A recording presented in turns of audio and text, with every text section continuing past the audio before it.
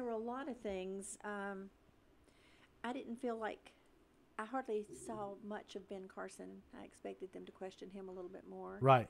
Um, It felt scripted to me. well, It felt a little scripted. Yeah, the the debates, the whole thing. It just felt really scripted. Do you think they prepped the candidates? No, not just the candidates, but the the questions. I thought the questions were all really super loaded and Well, they they aimed the questions to get the responses right. uh, to uh, I think for entertainment value. So Right, I got you. Obviously, that's why uh, Trump got so much. Did, did Trump? Airtime. Yeah, he got some. Uh, he took some heat last night, right? Yeah.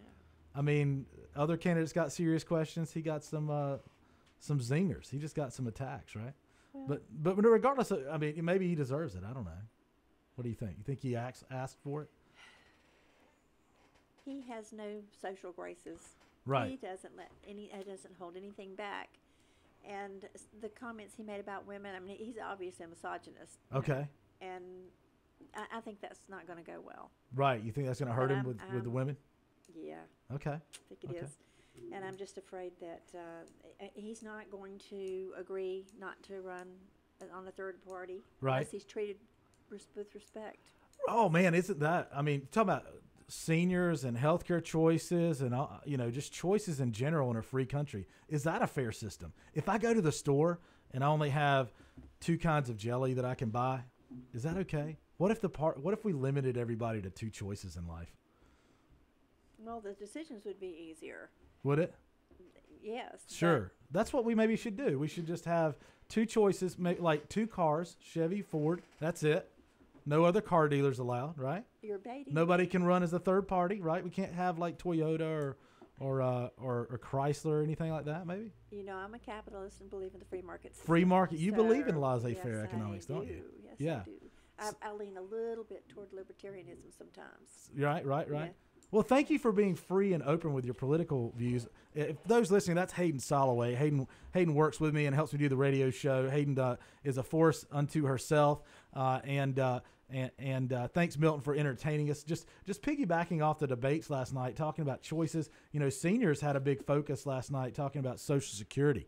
Uh, people over 50, you know, concerned with going in, uh, uh, looking at Social Security. I was just reading a Forbes article this morning talking about Social Security and uh, uh, and the debates last night. You know, there was an exchange between Huckabee and Chris Christie last night.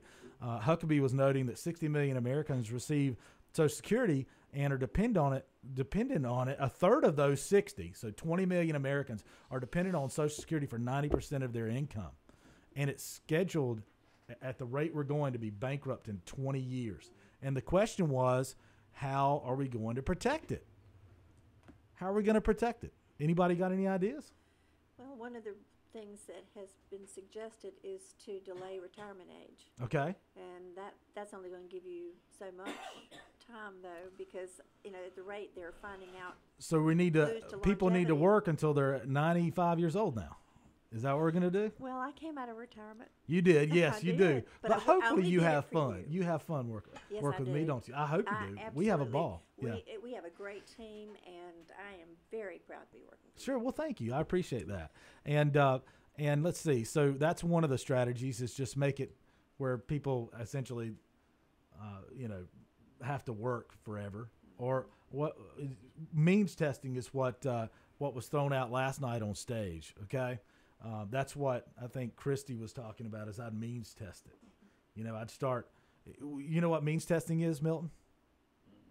When you means test any benefit, um, you say, okay, what means do you have? What are your means? Have you accumulated assets?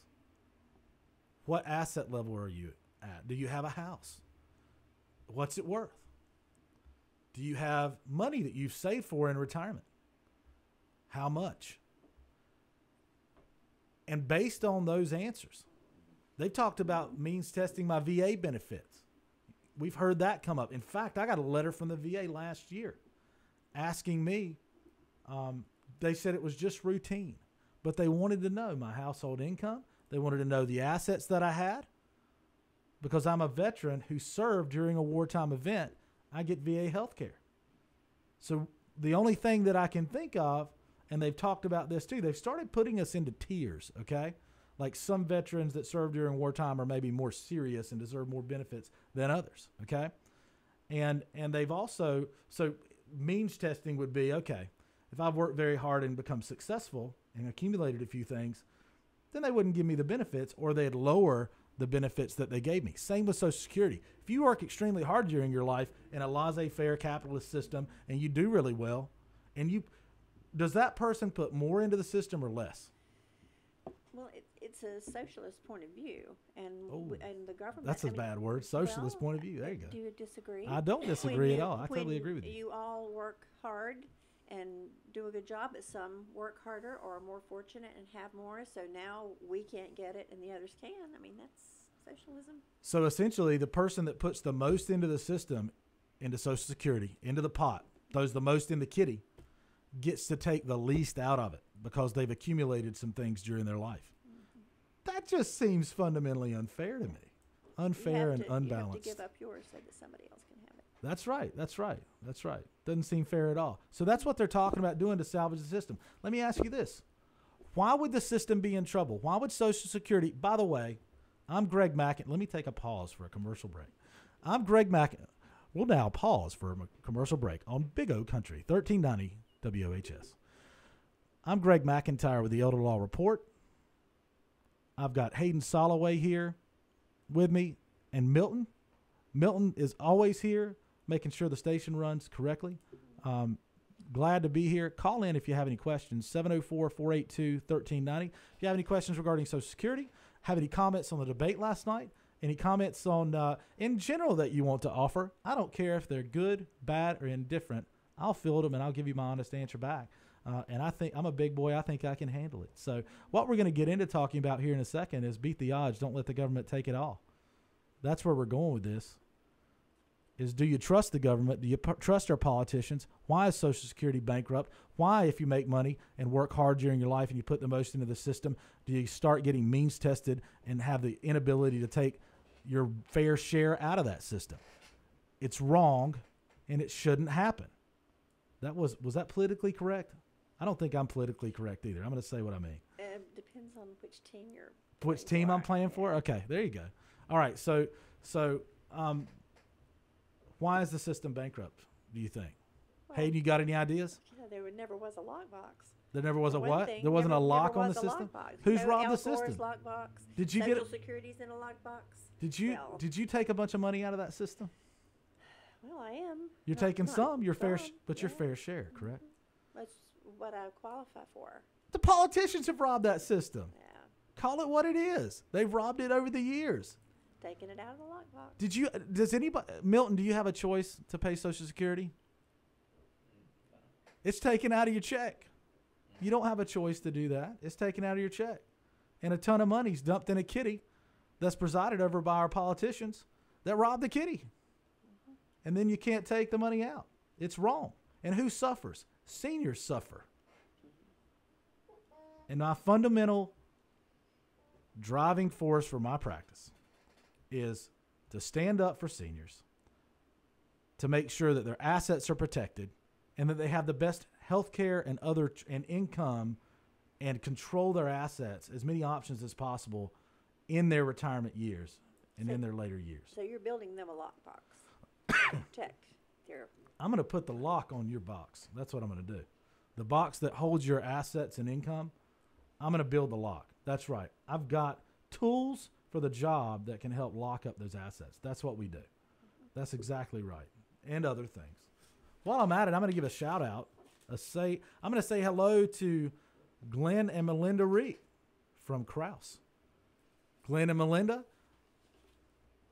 I think they know who you are. Uh, yes, I've known them for years. Absolutely. and I was supposed to tell them age isn't anything but a number, okay? It's not, right? I won't say why I'm giving the shout out, but I promised them I would, okay? Um, and they're regular listeners, Milton, Okay. um, and listen all the time. So, so uh, you know, age isn't anything but a number. Why should you start thinking about? Hey, Hayden, you've worked hard. You know, you buy a house at at some age. What the prevailing wisdom? The the how about the question? Common question I get all the time: Should I go ahead and give my house to my children. Should I give it away? Mm-hmm. Why, at a certain age, do you shift to start trying to give everything away? Why should you do that?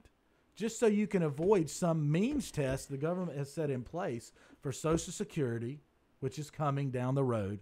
Trust me, McIntyre Elder Law will have a means testing wing at some point in the near future to help clients protect their assets and still receive their full share of Social Security. I can tell you that right now. Other attorneys that are listening, start getting ready for it. Okay, um, that's where we're going. All right, and that's going to be an entirely different, separate practice area for us. I started writing about means testing several years ago. The first newsletter I ever wrote and sent out to clients was about means testing. The entire like what? It's like a four-page, you know, bifold thing. You say something that's interesting to your clients. You tell them to keep control of the house. That Not just the house. well. Just I didn't mean to interrupt you. I didn't Sorry. mean to interrupt. I didn't mean to trump you. Go ahead. Go ahead. Please continue. No, it's uh, as long as you have control of the assets, then there is a little more respect for you from your children if you can make disposition of those assets and still have control. I say you want leverage, okay? That's- you want to keep I like that word. leverage, right? Yeah. You want to keep leverage and, and you want to keep control of your assets. And I say, mama and daddy, I'm sorry, daughter, son and daughter are nicer to mommy and daddy, whether they want to admit it or not, when mommy and daddy have control of all the assets, okay? We all want people we can trust to give our property to, but you want to keep control of that property and only let go of it when the last one of you passes away, last one of the husband and wife. How about that? Well, I've uh, spent uh, 11 years. We have a call, Milton? Yeah, well, let you, did she want to finish her? Oh, go I ahead. spent 11 years I working trumped you again. for attorneys, Right. and uh, families came in, and the behavior of the children after the parents passed away, and the way they treated their parents when their parents no longer controlled their assets was very surprising in some cases. Uh, some like yours and mine, that would never happen, of course, but It's, it's like just- blood in the water to sharks sometimes. When you add the money in there, it just sometimes people go after it. that's right. Let's see now. Uh, no, uh, whoever it was, Greg, they they hung up. They may not have been calling for the show, but if folks do want to call for the show and talk to Greg or Hayden, here our numbers are our regular numbers for contests, swap shop. Any anytime you call the station, same numbers 704-482-1390. Uh, that's in Shelby, Cleveland County, Lincoln County area 735-8071. Cherryville, Gaston County area 435-2844. Feel free to call any number. Let's see if they're. Hello, are you calling to talk to Greg? Yes, sir, Okay. Mr. Melton. Hey there, is Big D? That'd be me. Okay, Big D, you're on the air with Greg and All righty. I'm on there now. You're on now. Big D, what's up? Hit me. Oh, yeah. Um, a man is in the hospital. His wife has passed away. Is this a hypothetical or an actual? Yes, uh, uh, yes, yes, it is. I just want to get a little advice. Okay, The man got- is in man is in the hospital. Under, uh-huh. Uh, two weeks before he passes away, uh, there's two sons. One son has the has a uh, guy come in, and now there's already a will done, and it's been done for a couple of years. But a man, uh, one of the sons has a, a Wife, lawyer come wi- in wife and, already and passed do- away? Wife already and make passed away? another will while he's in the hospital, and he dies two weeks later. Okay. Does does that will hold up? You know, I've got a lot of questions there. First, is the wife already passed away? The wife's done passed away. Understood. Okay, I'm going to call this My Two Sons, okay? Yeah, Great show. Or is that My Three Sons? My Three Sons. yeah. that All right. was a great show. It was a great show. Absolutely. All right. So the the question is, you know, I, assume you said lawyer comes in, signs a new will two weeks before the man passes. Does it trump or change the other will? Correct. I keep using the word trump this morning. Well, I don't know why that is. So does it trump the other will? Is that your question? Yes. Maybe. Is the man Maybe. competent? Well, see, he's in he's in duress. He How's is he under uh, duress? he's dying, and he dies less than probably two weeks later. Okay. Is he on uh, medication? Yes, heavy. Heavy meds.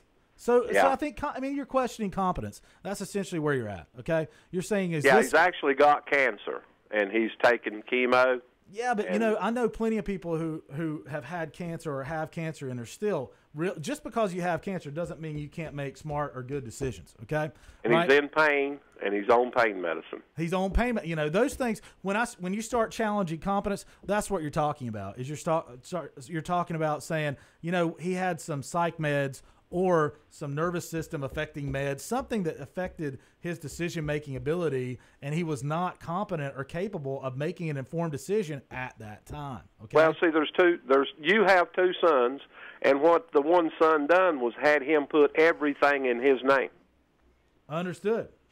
and he can do that. I have two sons. I actually do have two sons.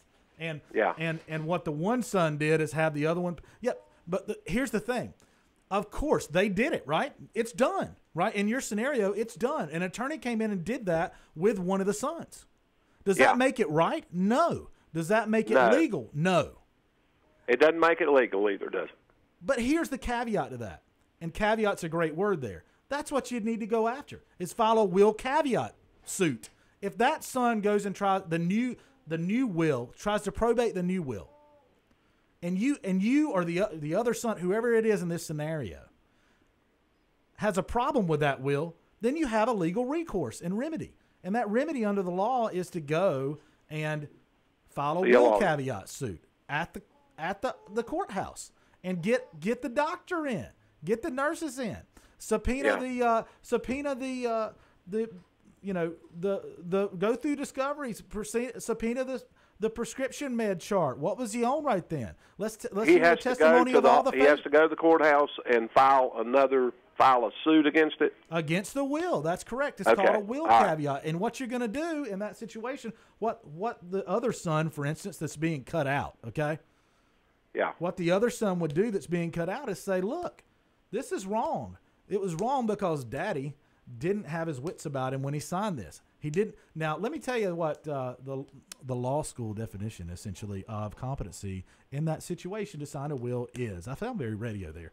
It is um, essentially that you have a moment of clarity or a clear time where you know what you're doing and sign the will. Somebody can sign a new will or legal document even if generally they're out of it if they come back into it. You know, some people fluctuate back in and out, especially people that are going into senility or on medication. Sometimes they'll be with it, sometimes Right. they won't. So it, Right. all those things come into play. The real question is, and I want to hone And in. incident, I wanna incidentally, focus this you- is not me, ahead, okay? Oh, okay. but this is someone else, and that's why I was trying to uh, Sure. find out a little bit on it and The and try to have some insight on it. the it. specific question when we target in on a, on a legal problem or issue, you want to target it on that specific issue. The specific issue is competence and whether at the time he signed the new will, he knew what he was doing, he was aware of it, he was competent, and he willingly did it. Okay? Yeah. That's the specific issue. Yeah, and if you- but that's you know, something that a in that lawyer could probably tear apart. That is something that does some that someone who handles contested will Yeah, and probate cases can Yeah. do for you. Okay. Yeah, right. In my Thank you so much for your uh, advice. Yeah, you want a killer in that situation, by the way. Okay, you want Yeah. somebody who can come in and has courtroom experience to take care of that. All right. Absolutely, right. absolutely. And you know the bad thing about it doesn't really have to be that way. It should be uh, both of them together. You know. Yeah, And it doesn't- and if, it doesn't the have to be that way. hey, way. if we all held hands in perfect harmony, we wouldn't have politics or lawyers. Might be a better That's world. exactly right. All right. Thank you so much, sir. Yes, sir. Big Thanks, D, thanks, if, Big D. if he wants to, Praise- stay- Thank you, Milton. yeah, if you want to stay online, you can. If you want to hang up, you can. But I found the one thing he said, and I, I wasn't really sure where he, what he meant by that was the word duress. Where, where that? Oh, what- very what- good. Yeah, you know, in a in a criminal term, duress, it means really somebody's got a gun to your head. Okay, mm-hmm. right. But I Oh, think in his term, duress, and what he's going to be showing, and that could be a factor. Okay, in determining competence and his his willingness, that willing willingly signing the will and knowingly signing the will and signing that document. You're going to try to show that look, this guy was under duress. That was a factor in him signing. Okay, mm-hmm. and would a judge Yeah. listen to that? And is that a valid legal argument or factor? Absolutely. Mm. That's what I was thinking too. I think that's a real legal legal argument there, and I think that, mm-hmm. that I hope that works for him. All right. Great question, Thank Big you D. so Thank much. you. Thank you, Big D. All right. Now, let's see. We got another call coming in here, Greg. If you're ready for another I'm always question, ready. Are you calling to speak to Greg, please? Hello. Uh, Did you call to speak to Greg? This is this is Nadine Warlick. I believe my birthday was called out. Oh, okay, Nadine. Uh, I'll get with you on that in just just a little bit later. We're we're doing a uh, Happy li- birthday, Nadine. Happy birthday. yeah. You, Okay, I'll call, you want me to call you back later? yeah, just call us later, dear. Okay, thank Okay. you. You have any questions about any legal questions? She's gone. she hung up, but she's got a birthday coming up. That is that's great. Yeah. Happy birthday. yeah. So, you know, and that goes into my age is nothing but a number thing, okay? You know, just because you have a few more birthdays than I do doesn't mean at what age? Let me ask you this, Milton. At what hmm. age do I need to give under under the governmental system we live under and the healthcare system we live under? At what age do I need to give away all my property? Let's see. We talk. We talk about this sort of sixty-two to. No, it's five years. Something. I don't know. I don't know. Hey, hey, me. I'm shaking my head. I'm, I'm leading. I'm leading. Uh, that's a bad. I can ask some tough questions. Yes, I'm sorry. can. I'm sorry. But the answer is never, man. Okay. all right. Ever, never, ever, Yeah, ever yeah, is there a good age when you're supposed to give away all your property? If that's the question, we need to change the Well- the or if that's the answer, then we need to change the question. We need to change the rules. Um, that's a ridiculous scenario. Yeah.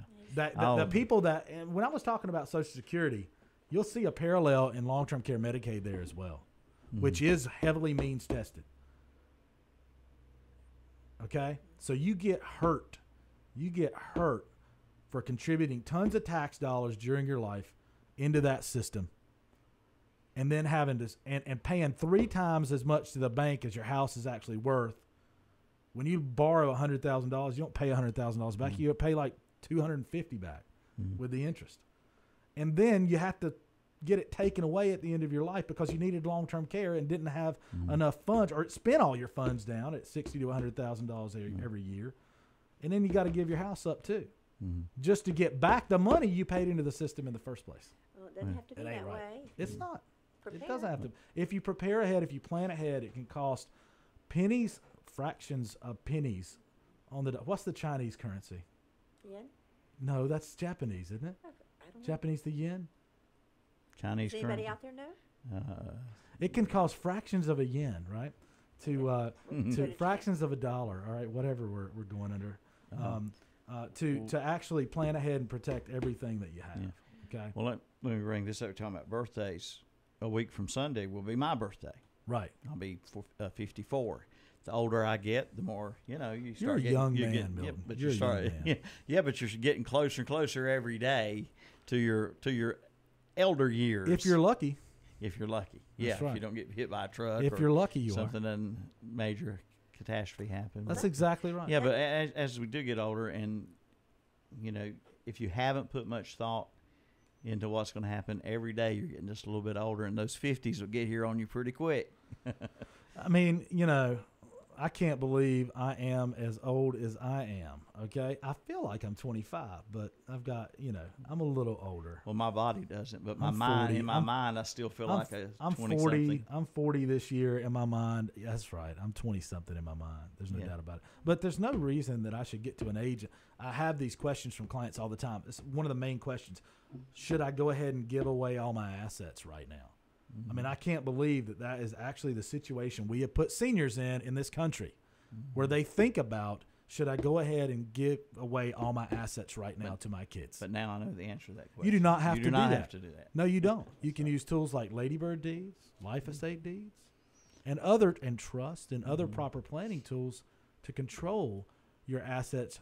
Sometimes not during your life, but even after you're gone, to make sure your grandkids mm-hmm. go to college and that they're well taken We got about four minutes, and and you, you've you've mentioned that word since our first very first show, and the very first interview we did with you before we started doing the show. When Sandy and I interviewed you, you mentioned that ladybird deed. Would you? I had never heard that term. I don't know if a lot of our listeners have. I have. have a lot of people that are interested in that term. Okay, it's really technically called an advanced life estate deed, mm-hmm. Milton. So with a traditional life estate deed, I may put my children down as a grantee, and I reserve a life interest for my wife and myself. We reserve a life interest for ourselves in our home. The problem is, is we give away our power of appointment. Mm-hmm. So in order to convey that property, the kids have to come in and sign that deed for me to sell it mm-hmm. or for me to grant a deed of trust to the bank to mortgage it. With a ladybird deed, you don't. You reserve the right to still mortgage the property 100% yourself without mm-hmm. your kids coming in and signing off on that deed of trust or sell it. You retain total 100% control. Mm-hmm. And under the Medicaid rules for assisted living Medicaid, which is a three year look back period, and long term care Medicaid, which is a five year look back period for them to pay for long term care or assist with those payments.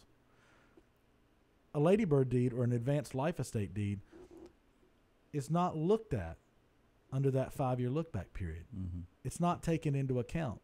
That's right. So it's what I say is it builds a brick wall of protection around your property right now. It's Mhm. the tool for the job It's around your, home. lockbox. That's your lock. That's right. Mhm. It's in your lockbox. And it allows you to control what happens to it 100%. You can still sell it, mortgage it, do whatever you want to with it. You can rest assured that it's not going to go back to the government, Mm. no matter what your health care needs are, and that you're going to keep it in the family. Mhm. I like to think that's because North Carolina is shifting to a more retirement friendly and senior friendly state. Mhm. Okay? That's my hope. Mhm. And those are allowable right now under the rules. Okay. If you get one right now under the rules and the rules change in the future, which if there's one thing I can promise you is change is constant Mhm. depending on the political party in control. Mhm. And the pendulum swings to the left and to the right. Mhm. It's All right. always going to happen. So if you got one now, it would be grandfathered in under the rules Mhm. because it's legal right now. Mhm. Okay. Okay. So that's essentially, in a nutshell, I hope I explained it well, what a ladybird deed is. Is it protects the property, keeps it in your family. Is that and that could be for any single, married, widowed, any anybody really that has a home of their own. Doesn't have to be a married couple. You Mhm. could be a single bachelor that was a lone wolf. You're like Lindsey Graham his entire life. Okay, Mhm. that's what Lindsey Graham said. Is I'm a lone wolf, right? Um, So so so uh, yeah, i you could be that guy, and it still applies to you. What you worked hard for as a citizen of the United States should not be taken away from you any more than a married couple's or Yeah. you know or a young person's thing that they worked hard for. So Well, folks, it, it looks like the time's about to run out on us. But uh, before you go, let me tell you first, okay, Mhm. and and and you guys who don't know, listening at home. I was trying to pull Milton into a political conversation, which he will not get will involved do. in. Right? thirty right? years on the radio, I'm not he going learned. there. Oh, oh, but but people love politics. I, everybody, it's fun. It's fun, and uh, I appreciate you, Milton, for putting up with our political discussion this morning and talking about benefits and maybe maybe uh, ways to plan correctly and uh, and talking about reasons why uh, that you know, from my point of view as an elder law attorney dealing with seniors every day, that I don't think our system is necessarily set up the way it should be. Okay, Mhm. but we try to help as much as possible. Now, question I have: Sure. uh, calling the office, still doing the code word? Always. Always. I love the radio listeners. We have a great group of listeners and fans out there. Um, meet with you every day. Call my office, McIntyre Elder Law, at 123 West Marion Street. As easy as 123 West Marion Street. In Shelby, it's 704. The number, the phone number, 704 259 7040. Code word radio. Okay? Code word radio. And, uh, and, and I'll meet with you for as long as it takes to make sure that you have everything in place that you need to put that lock on your lockbox and, and protect your hard-earned money and property. And I know you had a ad in uh, the last What's Up Shopper. Is it in uh, this uh, go round? But I know you had a great ad in the last What's Up Shopper. Explain Love writing the article. Essentially, it's an article that I write every Okay. couple of weeks in the What's Up Shopper. It's about a half-page article. This week we've got we've we have in there uh, a long-term care planning workbook that allows you to use our forms to consolidate all your. You got to know what you have to make inventory, take inventory of what you have, and then set your goals. That workbook will help you do that. If you if you call our office 704-259-7040, we'll mail you out a planning workbook, okay? Email it to you or mail it out to you. Be glad to do that. Okay. All right. Thank you, thank you both, Hayden and Thank Greg. Bill. Appreciate it. Thank you, Bill. All right. it. And we'll be back next time, next Friday. Yes, sir. Right here? Next Friday, Okay. same time, same Elder place. Law Report. We'll see you then, folks. And join us uh, Monday, Tuesday, and Wednesday for the uh, Community Profile program uh, in this time slot. We'll see you then.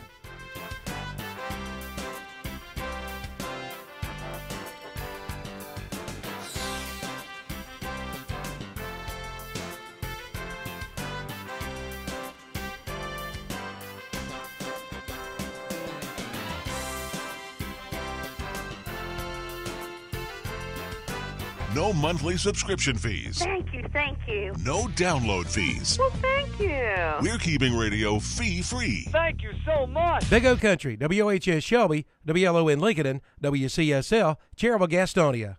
Hi, I'm Greg.